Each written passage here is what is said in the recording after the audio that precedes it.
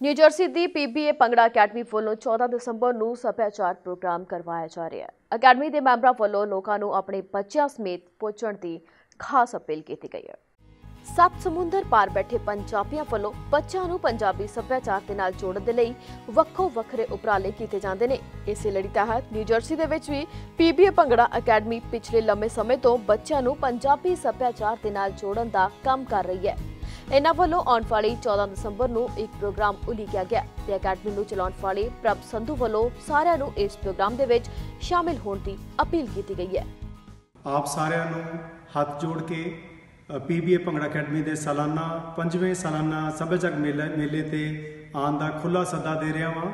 ਇਹ programme ਬੋਰਨਟਾਊਨ high school ਦੇ ਵਿੱਚ ਦਸੰਬਰ 14 2 ਵਜੇ ਤੋਂ ਲੈ ਕੇ ਸ਼ਾਮ ਦੇ 6 ਵਜੇ ਤੱਕ ਹੋਏਗਾ। ਤੁਹਾਨੂੰ ਦੱਸ ਦਈਏ ਕਿ ਹਰ ਸਾਲ ਇਸ ਅਕੈਡਮੀ ਵੱਲੋਂ ਇੱਕ ਸਾਲਾਨਾ ਪ੍ਰੋਗਰਾਮ ਕਰਵਾਇਆ ਜਾਂਦਾ ਹੈ ਸਾਰਾ ਸਾਲ ਬੱਚੇ ਗਿੱਧੇ ਭੰਗੜੇ ਤੇ ਹੋਰ ਪ੍ਰੋਗਰਾਮਾਂ ਦੀ ਰਿਹਰਸਲ ਕਰਦੇ ਨੇ ਤੇ ਇੱਕ ਸਾਲ ਬਾਅਦ ਉਹਨਾਂ ਦੀਆਂ ਪਰਫਾਰਮੈਂਸ ਕਰਵਾਈਆਂ ਜਾਂਦੀਆਂ ਨੇ BB Bangla is performing on December 14th. Please bring everyone. Enjoy.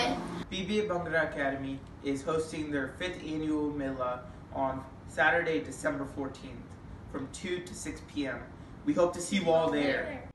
Academy ਦੇ ਸਾਰੇ ਮੈਂਬਰਾਂ ਵੱਲੋਂ ਲੋਕਾਂ ਨੂੰ ਆਪਣੇ ਬੱਚਿਆਂ ਨੂੰ ਪ੍ਰੋਗਰਾਮ ਦੇ ਵਿੱਚ ਲੈ ਕੇ ਆਉਣ ਦੀ ਬੇਨਤੀ ਕੀਤੀ ਗਈ ਹੈ ਤਾਂ ਕਿ ਬੱਚੇ ਪੰਜਾਬੀ ਸੱਭਿਆਚਾਰ ਤੋਂ ਜਾਣੂ ਹੋ ਸਕਣ 14 ਦਸੰਬਰ ਦਿਨ ਸੈਟਰਡੇ ਦੁਪਹਿਰ ਤੋਂ ਬਾਅਦ 2 ਵਜੇ ਤੋਂ ਲੈ ਕੇ 6 ਵਜੇ ਤੱਕ ਤੁਹਾਨੂੰ ਸਾਰੇ ਪਰਿਵਾਰਾਂ ਨੂੰ ਗੁਜ਼ਾਰਿਸ਼ ਹੈ ਕਿ ਇਸ ਮੇਲੇ ਵਿੱਚ ਪਹੁੰਚ ਕੇ ਮੇਲੇ ਦੀ ਰੌਣਕ ਨੂੰ ਵਧਾਓ ਜ਼ਿਆਦਾ ਜਾਣਕਾਰੀ ਲਈ ਪ੍ਰਭ ਸੰਧੂ ਜੀ ਨੂੰ ਫੋਨ ਕਰੋ 732 447 5879 732 447 5879 ਪੰਜਾਬੀਆਂ ਵੱਲੋਂ ਵਿਦੇਸ਼ੀ ਧਰਤੀ ਤੇ ਅਜਿਹੇ ਪ੍ਰੋਗਰਾਮ ਕਰਵਾਉਂਦੇ ਰਹਿਣਾ ਬੇहद ਸ਼ਲਾਘਾਯੋਗ ਕਦਮ ਹੈ। ਇਸ ਦੇ ਨਾਲ ਵਿਦੇਸ਼ਾਂ ਦੇ ਵਿੱਚ ਜੰਮੀ ਸਾਡੀ ਨਵੀਂ ਪੀੜ੍ਹੀ ਪੱਛਮੀ ਸੱਭਿਆਚਾਰ ਦੇ ਨਾਲ-ਨਾਲ ਆਪਣੇ ਪੰਜਾਬੀ ਸੱਭਿਆਚਾਰ ਤੋਂ ਵੀ ਜਾਣੂ ਹੁੰਦੀ ਹੈ।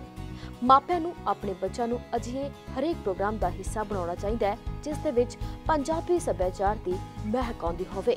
ਨਿਊ ਜਰਸੀ ਤੋਂ ਦਿਲ ਪ੍ਰਦੀਪ ਦੀ ਰਿਪੋਰਟ ਗਲੋਬਲ ਪੰਜਾਬ ਟੀਵੀ